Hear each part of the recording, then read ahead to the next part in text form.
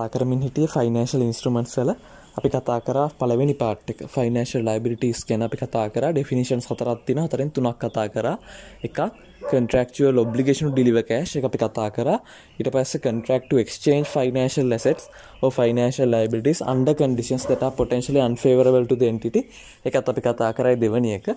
තුන්වෙනි අපි කිව්වා a contract to issue own equity instruments. again own equity shares under con- uh, sorry uh, where the number of shares is variable. හරිද the contract to issue the contract to be settled by issuing own equity shares where the number of shares is variable. තුන්වෙනි එකත් අපි කතා කරා ඒ විදිහට හරිද එතකොට අපි දැන් මේ කතා කරන්නේ හතරවෙනි ඩෙෆිනිෂන් එක. හතරන ඩිෆිනිශන වට නම් බලන්න පුළුවන්කම තියෙන ඕකේ දාලා තියෙනවා. නමුත් ඔක කියව්ව කියලා ඔය ස්ලයිඩ් එක තියෙන කියව්ව කියලා එහෙම පැහැදිලි අවබෝධයක් එන්නේ නැහැ. තේරුම් ගන්න අමාරුයි. සරලව තේරෙන්නේ නැහැ තරමදී ඔය කියව්ව කියලා. ඒ කියන්නේ ලොඩාක් තියෙනවා.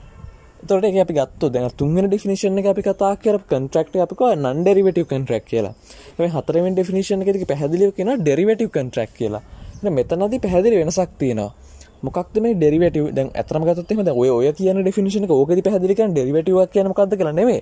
ඔය ඩෙෆිනිෂන් එකෙන් කියන්නේ ඩෙරිවේටිව් කොන්ට්‍රැක්ට් එකක්.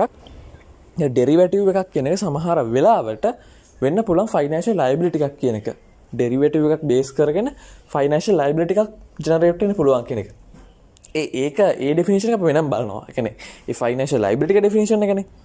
එක පසුව බලනවා ඉට කලින් පොඩි අවබෝධයක් තියන්න නිකං සමරි මොක්හරි පොඩි අවබෝධයක් තියන්න ඕනේ ඩෙරිවැටව් එකක් කියලා කියන මොකක්ද කියනෙක් ගැන මේ ඩෙරිවැටව් කියන සංකල්පය ගොඩක් වෙලාවට ගත්තොත් මේ වියුත් පන්නගෙන සංකල්පය ලංකාවයට ගොඩක් කෙනෙ මේ නුහුරු වෙලා තින් ලංකා වෙච්චරම එක කෙනෙ ගොඩක් වෙලාවට ප්‍රක්ටිස් වෙන අඩුයි ගොඩක් ලොකු කම්පැනිස්වල එහෙම තමයි ප්‍රක්ටිස් වෙන්නේ. ගොඩක් අයටම එක දකින්න පුළුවන්කම හැකියාව අඩුයි. තේනිසා තමයි මේ ගොඩක් වෙලාට ප්‍රක්ටිස්සේ කතා කරන්න නැත්තේ සහ මේක ගැන එච්චර දැනුමක් නැත්තේ. මේ ඩෙරිවටව් කෙනෙක් ගැන මෙතන මේ සම්පූර්ණ කතාවක් නෙම කතා කරන්න. හෙමුණොත් එහෙම කියන එහෙම කතා කරන ගතුත් අපිට ෆයිනන්ශල් ලයිබිලිටිස් කන කතා කරන්න වෙන්න අපි නිකන් ජනරල් අන්ඩස්ටෑන්ඩින් එක. මොකක්ද ඩෙරිවටවයක් කියන්න කියලා පොඩි සරල අවබෝධයක් මොකක්ද කෙනෙක විතර කියන්නේ.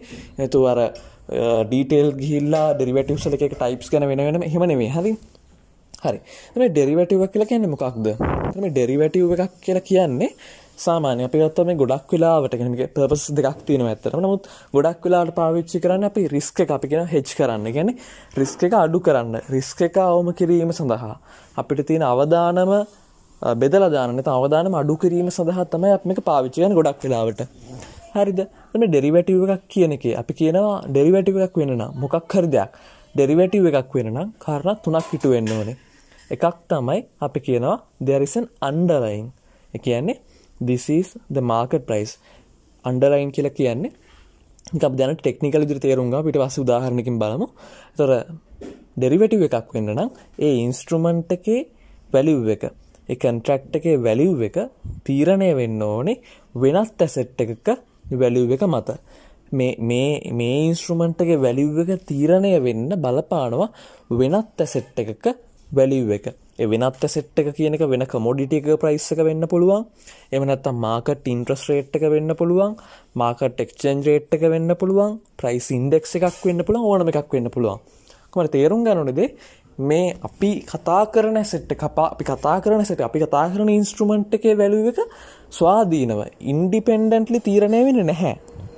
එක තීරණය වෙන්න බලපානවා. එක වැලිව් එක තීරණය බලපාන ෆැක්ට එකක් විදියට වෙනත් සෙට් එක. වැලිව් එක කොමරටික මාකට ප්‍රයිස් එක වෙන්න පුළුවන් මාකට ඉන්ට්‍රස් රේට් එක වෙන්න පුළුවන් එම නැත්නම් එක්ස්චේන්ජ් රේට් එක වෙන්න පුළුවන් ප්‍රයිස් ඉන්ඩෙක්ස් වගේ ඕනම දෙයක්. හරිනේ.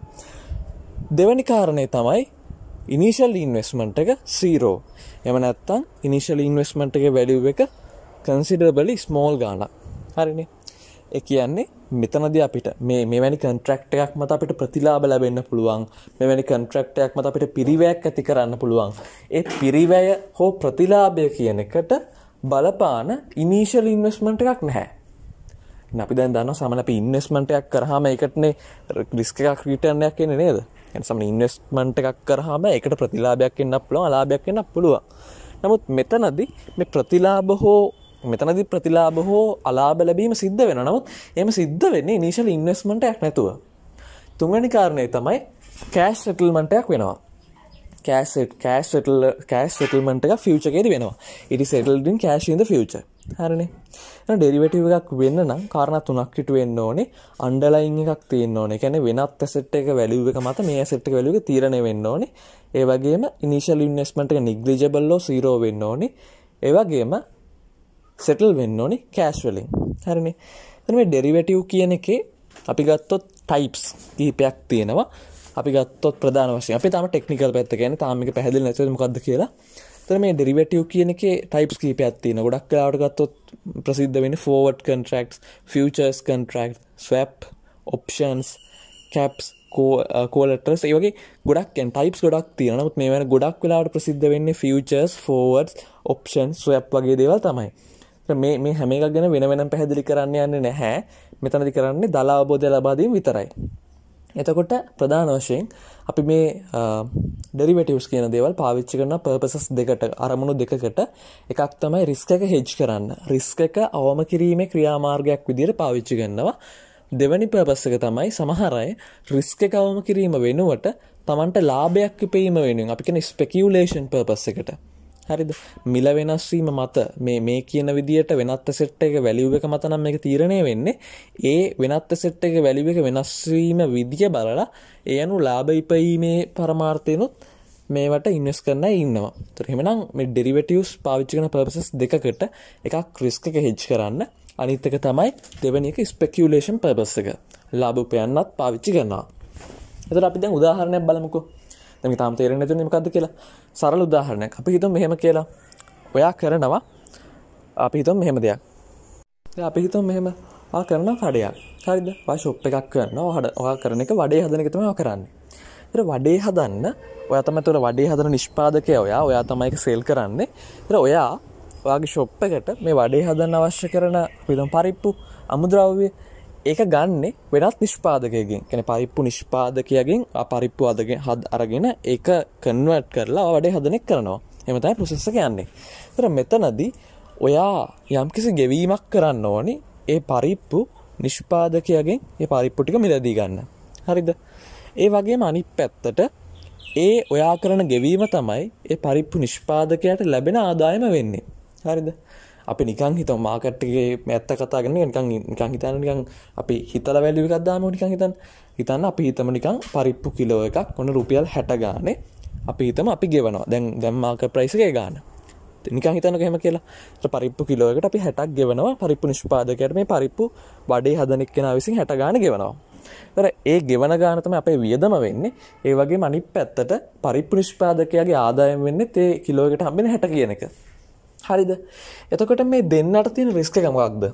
දැන් හිතන්න මේ පරිප්පු කිලෝ එක ප්‍රයිස් එක වැඩි වුණොත් මොකක්ද වෙන්නේ?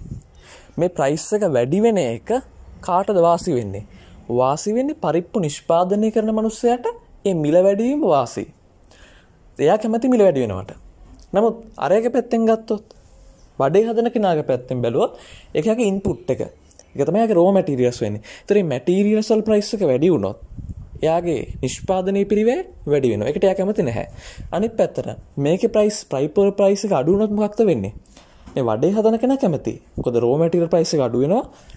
එයාගේ අනිවාර්යෙන් ප්‍රොඩක්ෂන් කොස්ට් එක අඩු වෙනවා. එයා කැමති.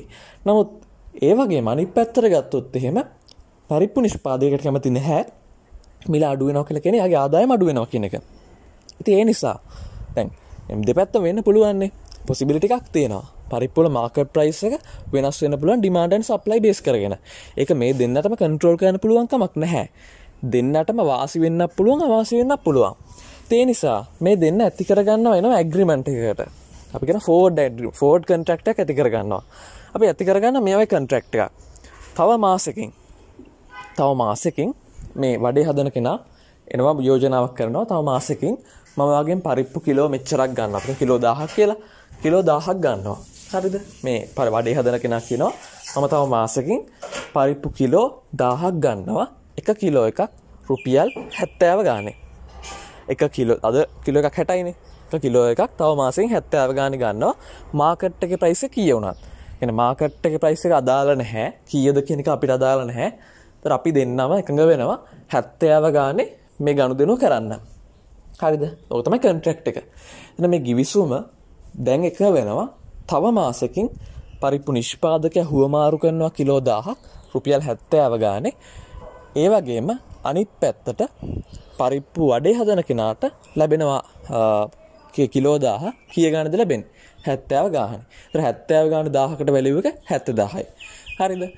දර මේක තමයි මෙතන්දි වැලිුව එක වෙන්නේ. ඊළඟට මෙතන තියෙන කාරණය මේකයි.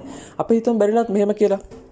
අපි හිතමු ඒ මාසකින් මේ ගනුදෙනුව කරන අවස්ථාවේදී අපි හිතමු මේ පරිප්පුවල මාකට් වැලියු රුපියල් 75යි කියලා. හරිද? රුපියල් 75යි තමයි වැලියු එක. හරිද? එතන මේ මේ අපි එක පැත්තෙන් ගමුකෝ. එක්කෙනෙක්ගේ පැත්තකින් මේ දෙන්නගේ පැත්තෙන් බලනකොට මේක කරන්න බැරි වෙනවා. අපි බලමු මේ වඩේ නිෂ්පාදනය කරන කෙනාගේ පැත්තෙන් මේ ෂොප් එක කරන කෙනාගේ පැත්තෙන්. එතන මෙයාගේ පැත්තෙන් බැලුවොත් මෙයාට මාකට් එකේ කිලෝ එකක් කීයද වෙන්නේ? 75ක් වෙනවා තව මාසකින්. හැබැයි දැන් කන්ට්‍රක්ට ඇති කරගෙන තිබ්බ හන්දා යට ගන්න පුළුවන්කම ලැබෙනවා කිය ගානද? හැත්තෑව ගානේ. කෙන යා ගෙවන්න ඕනේ ඇත්තරම හැත්තෑව ගානේ. දාහයි හැත්ත දාහයි ගෙවන්න ඕනි. නමුත් මාකට් එක වැලිව් එක එකක් හැත්ත පාගානේ කිලෝගක් හැත්ත පහගානේ දාගට හැත්ත පන්දාහයි කෙනෙක තේරුම තමයි මේ කන්ට්‍රක්් එකයි මේ මේ නෙට් වැලිව් එක නෙට් amount එක මේ contract එක මත එයාට ලැබෙන gain එක නැත්නම් loss එකද මෙතන දේලු gain එක නැති වෙන්නේ නේද? 70000ට වඩා 5000ක් වැඩි වෙනවා 75000ක් වෙනවා. ඒක අඩු වෙන්න අපුල අපිට කියන්න බෑ ඒක. සමහර වෙලාවට අපි හිතනවා 70ට ගන්නවා කියලා අපි contract එක ඇති කර ගන්නවා නමුත් ඒ වෙනකොට price එක 65යි ඒතර එහෙම වුණා නම් ඇත්තට මාකට් එකේ සල්ලි දීලා ගන්න ගැන 65000ට ගන්න තිබ්බද 70000ක් දීලා වැඩිපුර ගන්න වැඩිපුර ගාණක් දීලා ගන්නවා. ලොස් එකක් එතකොට. ඒතර මේ ගේන් එකක්ද ලොස් එකක්ද මොකක්ද ඇති වෙන්නේ කියන එක තීරණය වෙන්නේ. කියන්නේ මේ කොන්ට්‍රැක්ට් එකේ වැලියු එක මේ කොන්ට්‍රැක්ට් එකේ net වැලියු එක කියන්නේ මේ මේ මේ මේ ඩෙරිවේටිව් එක කියන එකේ ඩෙරිවේටිව් එකක් අපි දන්නේ නැහැ. නිකන් බැලුවොත් එහෙම මේ කොන්ට්‍රැක්ට් එකේ වැලියු එක තීරණය වෙන්නේ මොකක්මද? තීරණය වෙන්නේ මේ කොමොඩිටි එකේ මාකට් ප්‍රයිස් එක මත.